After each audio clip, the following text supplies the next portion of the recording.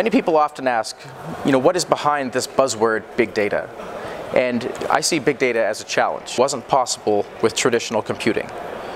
And that's a very simple answer. And the way we typically like to break down problems is, is looking at individual components. So in IBM, we see, we, see, we see four areas. And personally, I see three characteristics, and I'll talk about the, the, the fourth area uh, last. So the first characteristic is probably the easiest one to understand for big data, and that is volume. Data that's simply huge. It could be hundreds of terabytes of, of, of, of telco logs or of, uh, or of smart meter logs or maybe of uh, financial transactions that are flowing through different systems, a variety of things. And again, one of the, I mean, one of the, and one of the challenges that we see with big data is that, that as all this information comes in because of instrumentation, of how everything's connected, we're able, and because storage is so cheap, we're able to store so much of this stuff. And so volume can be a very significant problem. A traditional database could not process 100 terabytes of data or even a petabyte of data. And increasingly, we're seeing more and more businesses with data at that scale where there's potential value. So the second V is velocity. And velocity is simply how fast data enters your organization and in many cases there's value in that information only for a very short window of time.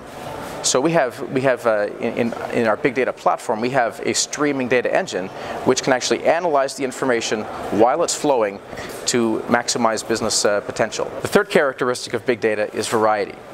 And variety really defines the structure that the data is in. Normal uh, traditional computing, such as uh, data warehousing or relational databases, relied on data being in very specific structures so that a, a, date column had a date value in a very specific form. A, a salary column had a decimal number. A name column had a, a, character string. And as the data was entered into the database, it, it, the system validated that those data types were exactly what they were. So we call that highly structured data. And computers are very good at dealing, highly, at dealing with highly structured data. But the problem is that only 20% roughly of all the information in the world or in organizations and businesses is in that nicely structured format. There's a tremendous amount of data that's being generated now that has potential business value that doesn't fit into those nice structures, such as audio files, maybe of recordings uh, from call center for, for quality purposes. Or maybe the call center operator maybe took some notes and, and wrote down you know, how a customer felt about a particular product or a service engagement those are, I mean, while one is audio in, in a binary format and the other is text eh, or just a written text, those, both those aren't nicely structured. And it's very difficult, at least with, or if not impossible, with traditional computing to analyze those, and especially to analyze those at scale, uh, if, if, to look back at the volume question, or if that information is flowing out you very quickly, thinking back to variety. So we often see a combination of those, those three main V's that, that define what big data is. Now in IBM we have a fourth V called veracity. And veracity really uh, seeks to answer the question of can we trust this data? Do we know where it came from? Do we know what the potential purposes of this data is and, and, and where this data ultimately will go and the impact it will have on our business? And really that comes down to questions relating to information governance or data governance. Governance doesn't start with a V, so we use the word veracity. But all the same, a, these are very important questions. And not just for big data, but, but for any data. Even for relational databases, this veracity question is important.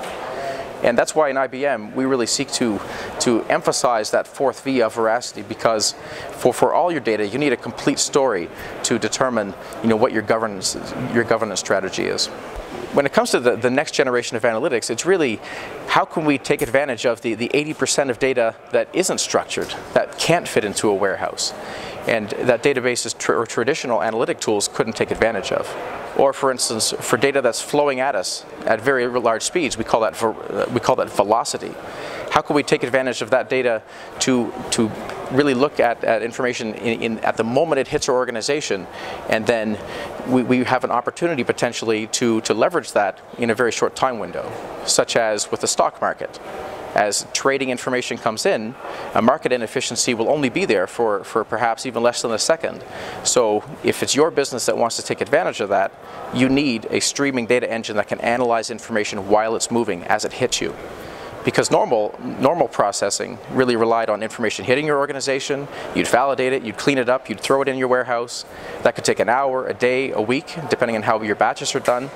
But that potential opportunity, by the time you enter it in your warehouse, is gone. It's history. There's no, you no longer have a chance to really take advantage of that, that opportunity.